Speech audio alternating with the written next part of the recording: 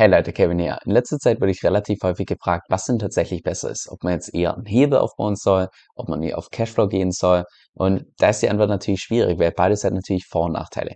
Es sei denn, es gibt eine Möglichkeit, wie du sogar beides gemeinsam machen kannst. Und im heutigen Video möchte ich dir eine Möglichkeit vorstellen, wie du nicht nur 10% eine APR auf Ethereum bekommen kannst, sondern auch gleichzeitig noch einen zweifachen Hebel drauf. Und zwar mit der Hilfe von Lido und Aave. Lass uns an der Stelle mal ganz vorne starten für die Leute, die vielleicht Lido oder Aave noch gar nicht kennen. Und zwar wie immer auf meiner Lieblingswebseite DeFi Lama, die aus meiner Sicht, als wenn es dir darum geht, ich sag mal so einen ersten Einblick zu bekommen über ein DeFi-Protokoll oder du möchtest ein DeFi-Protokoll so ein bisschen näher analysieren, ist einfach DeFi Lama eine super Webseite. Und das siehst du auch hier schon auf Platz 2 haben wir Lido und auf Platz 4 haben wir Aave. Das heißt, wir reden da von den größten Playern im DeFi-Space, wenn es um das TVL geht, das Total Value Lock.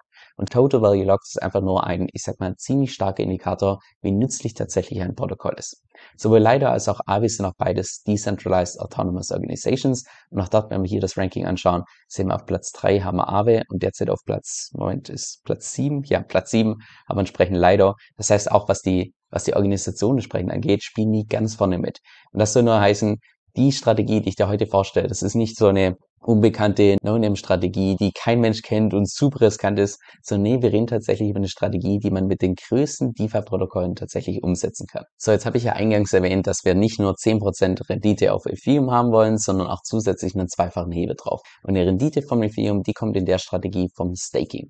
Und Staking kannst du unter anderem auch bei Lido Finance machen, also das, was ich dir gerade schon vorgestellt habe. Aber du siehst auch hier die Liste, ist unglaublich lange mit den ganzen Staking-Providern, wo man überall entsprechend Staking für Ethereum betreiben kann. Und an der Stelle stellt sich natürlich jetzt die Frage, aber warum genau wählen wir Lido aus und nicht einen von den ganzen anderen Protokollen? Und das machen wir deshalb, weil Lido ein Liquid Staking Protocol ist. Und das heißt, oder vereinfacht gesagt heißt das, dass in dem Moment, wo du Staking betreibst bei Lido, bekommst du deine gestakten Ether in deine Wallet. Das heißt, du hast die volle Kontrolle, selbst wenn du das Staking betreibst, was du jetzt beispielsweise bei einer CeFi-Plattform nicht hast. Bei einer CeFi-Plattform, wie jetzt beispielsweise Coinbase, wie KDeFi und so weiter und so fort, da gibst du ja die volle Kontrolle ab, auch deine Private Keys entsprechen und das Unternehmen tut dann die volle Verantwortung dafür übernehmen, aber du hast eben keinen Zugriff drauf, die Coins könnten eingefroren werden und so weiter und so fort. Und bei Lido ist es so, dass in dem Moment, wo du Staking betreibst, hast du nach wie vor deine Coins in deiner Wallet. Das heißt, du bist komplett flexibel, du bist nicht unbedingt auf die angewiesen, also indirekt schon, aber ich sage jetzt, die können ja nicht irgendwie deine Coins irgendwie einfrieren oder sonst was.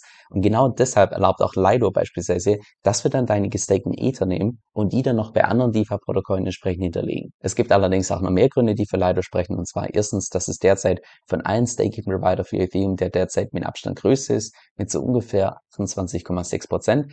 Wenn wir uns mal den zweitgrößten Provider anschauen, derzeit Coinbase mit ungefähr 13,11 Prozent. Also ja, mehr als doppelt so groß als der zweitgrößte Competitor. Und das sagt schon einiges über Lido aus, weil im Allgemeinen würde ich sagen, dass du im DeFi-Space wahrscheinlich so als grobe Postformel dir merken kannst, je größer so ein DeFi-Protokoll ist, desto tendenziell sicherer ist es auch.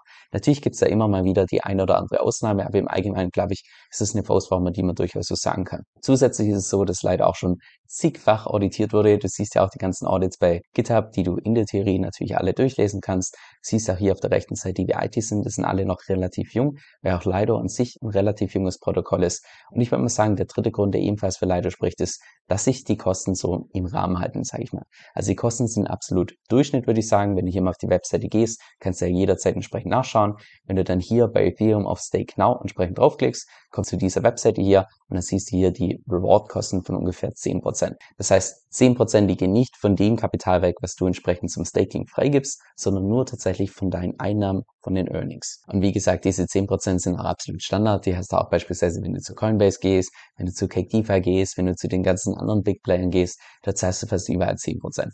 Und 10% sind auch aus meiner Sicht absolut in Ordnung, weil im Vergleich zu dem ganzen Aufwand, den du hättest, deine eigene Masternode entsprechend zu betreiben. Das ist nicht nur viel Aufwand, sondern es kostet dich natürlich auch Geld. Von daher sind meiner Meinung nach die 10% absolut in Ordnung. Jetzt, wenn du selbst tatsächlich über Lido staken willst, ist es auch relativ simpel. Also gehst auf die Webseite, klickst auf Stake Ether, so wie ich es gerade schon gemacht habe. Dann gibst du hier dir eine Menge ein, wie viele du tatsächlich staken willst. Ich habe jetzt nicht so viele in der Wallet, aber angenommen, du möchtest hier 10 Ether staken. Danach bekommst du dann 10 ST Ether, also gestakte Ether. Und das kannst du dir in etwa vorstellen wie so eine Art Quittung, dass in dem Moment, wo du ins Staking gehst, bekommst du einen anderen Token, der dir im Prinzip Zugangsrechte gibt zu deinen Ether, die du entsprechend hinterlegt hast. Also ähnlich wie bei den LP-Tokens bei Curve, das kannst du dir in etwa ähnlich vorstellen. Genau gleiches ist es hier bei Lido, dass du im Prinzip dann die ST-Tokens in deine Wallet bekommst. Und mit diesen ST-Tokens kannst du dann noch andere DeFi-Protokolle entsprechend benutzen. Jetzt das Coole an Lido ist auch, dass du da deine Rewards nicht irgendwie manuell claimen musst, sondern da ist es einfach so, dass die Anzahl deiner Tokens im Zeitverlauf einfach zunimmt. Und das kannst du auch jederzeit hier transparent auf der Website entsprechend nachschauen, indem du hier oben auf Rewards draufklickst und dann werden dir hier deine entsprechenden gestakten Ether, die du neu verdient hast, die werden dir hier dann entsprechend angezeigt. Und du kannst auch zu jedem Zeitpunkt deine gestakten Ether wieder umtauschen in Ether, indem du beispielsweise hier auf eine Dex gehst, wie beispielsweise Curve, suchst nach dem entsprechenden Pool mit gestakten Ether, gibst hier beispielsweise deine Anzahl ein, 10 Ether, tust die umtauschen in normale Ether, siehst du hier bekommst du nahezu eins zu eins die gleiche Menge von gestakten Ether wieder zu Ether. Jetzt habe ich ja eingangs erwähnt, dass wir nicht nur eine APR wirtschaften von 10%, sondern auch zusätzlich einen zweifachen Hebel aufbauen. Wenn wir jetzt allerdings mal bei Lido reinschauen, bekommen Sie derzeit nur in Anführungszeichen nur eine APR von so ungefähr 5,5%. Das heißt, knapp die Hälfte von dem, was wir tatsächlich erreichen wollen. Und genau an dem Punkt kommt jetzt beispielsweise Aave ins Spiel. Aave ist einfach nur ein Borrowing-Protokoll, was du eventuell auch schon von meinen vorherigen Videos kennst, was dir erlaubt, dass du Assets als Kollateral hinterlegen kannst und dann entsprechend einen Kredit aufnehmen kannst. Rein in der Theorie könntest du natürlich auch auf Make It Out zurückgreifen, auf die Aces App, das ist die Benutzeroberfläche. Da kannst du ebenfalls gestakte Ether hinterlegen, allerdings mit einer Überversicherungsgrenze von 160% und 185%, was relativ unattraktiv ist im Vergleich zu beispielsweise Aave, das Aave einfach ein Vielfaches effizienter. Und an sich ist es auch relativ simpel. Die Vorgehensweise im Prinzip die, dass wir jetzt die gestakten Ether als Kollateral hinterlegen, dann entsprechend einen Kredit aufnehmen in einem Stablecoin, diese Stablecoins umtauschen, wieder in gestakte Ether, nochmals Kollateral hinterlegen, dann nochmal einen Kredit aufnehmen, dann wieder gestakte Ether damit kaufen und nochmals Kollateral hinterlegen, bis wir irgendwann mal die zweifache Menge an gestakten Ether als Kollateral haben und dann entsprechend einen offenen Kredit, sodass du in Summe die doppelte Menge an APR bekommst auf deine gestakten Ether und noch zusätzlich einen zweifachen Hebel, wodurch du dann natürlich auch die zweifachen Kursgewinne, genauso auch wie natürlich Kursverluste entsprechend mitnimmst. Und wie das funktioniert, nur, also ich werde es jetzt nicht eins zu eins mit meiner Wallet entsprechend durchmachen, aber nur von der Funktionsweise her, dass ihr auf der linken Seite, also bei den ganzen Assets, die du als Kollateral hinterlegen kannst, das suchst du jetzt entsprechend gestakte Ether. Moment, was sind sie? Die sind hier. Dann tust du hier entsprechend einfach auf Supply draufklicken. Die werden dir dann auch nicht grau hinterlegt angezeigt in dem Moment, wo du die in deiner Wallet hast. Klickst du hier auf Supply und ab dem Zeitpunkt, wo du das gemacht hast, kannst du dann hier auf der rechten Seite dir einfach einen Stablecoin aussuchen, den du entsprechend ausleihen möchtest als Kredit. Auch da wird dann hier dieses Borrow nicht mehr grau hinterlegt sein, sondern du kannst entsprechend dann einen Stablecoin ausleihen. Also klassisches Beispiel, sagen wir mal, du hast 20 Ether, die du hier auf der linken Seite als Kollateral hinterlegst. Dann sagen wir mal, du nimmst einen Kredit auf 15.000 Dollar in dem USDC. So, jetzt hast du die neuen USDC in deiner Wallet. Was machst du mit denen? Du gehst, also Theoretisch hast du zwei verschiedene Optionen. Entweder du hinterlegst sie so, wie wir es gerade schon bei Lido gemeinsam gemacht haben. Das heißt, du nimmst diese USDC, gehst dann beispielsweise zu Uniswap, sagst, hey, die 15.000 USDC, die hätte ich gerne in Ether getauscht, dann bekommst du knapp 10 Ether. Mit den Ether könntest du jetzt wieder zu Lido gehen, klickst auf Stake Now, tust du wieder entsprechend hier hinterlegen, bekommst wieder gestakte Ether und kannst die dann wieder hier bei Aave entsprechend hinterlegen. Das ist die erste Option. Oder zweite Option, du brauchst das Ganze auch nicht über Lido machen, sondern könntest auch einfach deine gestakten Ether entsprechend kaufen.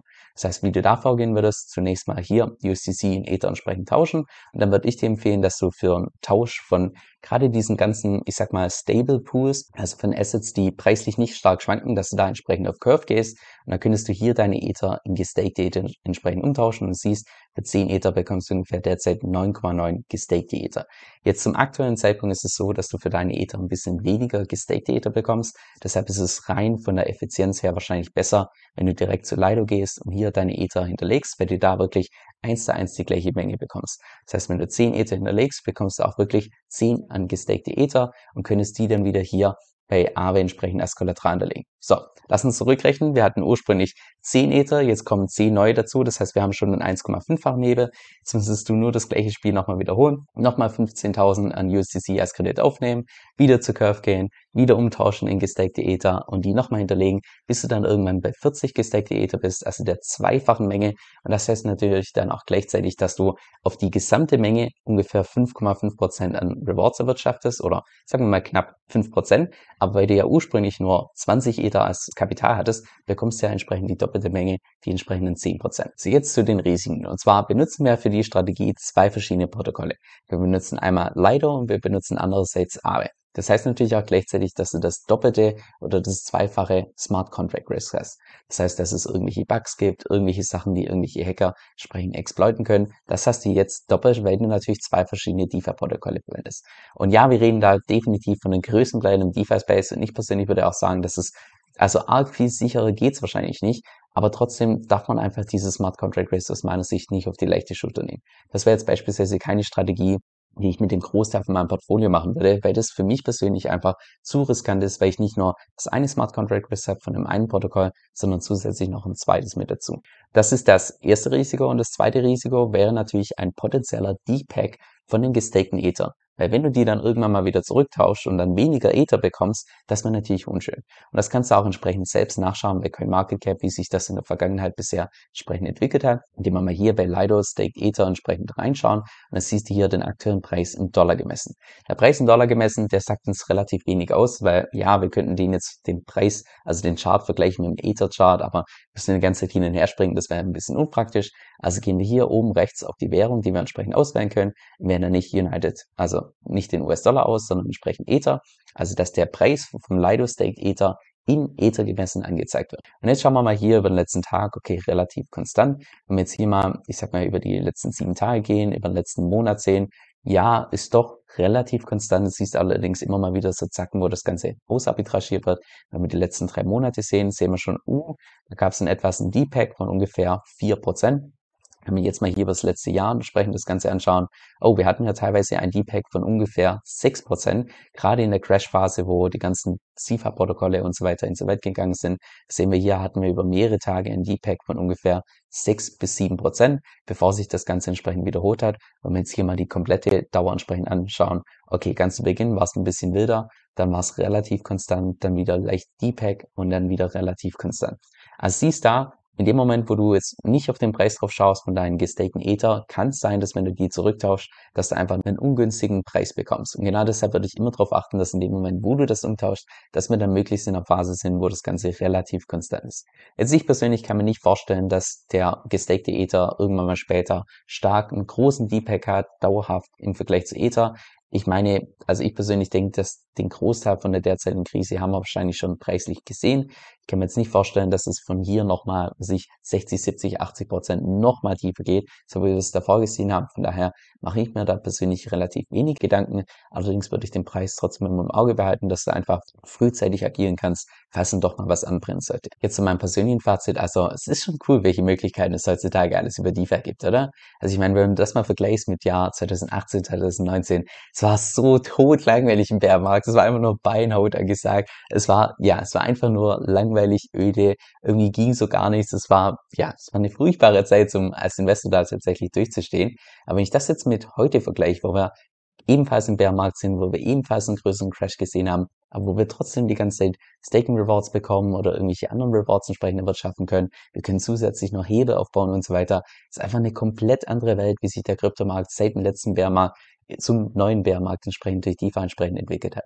Auch die Strategie, die ich da heute vorgestellt habe mit Lido und Aave, ist die Strategie, die ich persönlich irgendwann mal später tatsächlich selbst durchführen werde. Ich halte allerdings derzeit noch so ein bisschen die, ich sag mal, physisch still, weil ich mir gut vorstellen kann, dass wir jetzt eventuell gegen Jahresende so eine Art, ich sag mal, Bärenmarkt-Rally sehen, bevor es tatsächlich noch ein bisschen tiefer geht. Von daher will ich den Teil von meinem Risikokapital vorerst mal noch in der Cash-Position lassen und warte dann auf einen, ich sag mal, günstigeren Zeitpunkt, wo ich dann entsprechend einsteigen kann. Kann natürlich auch schief gehen, vielleicht verpasse ich die besten Preise, weil wir schon entsprechende Boden gesehen haben.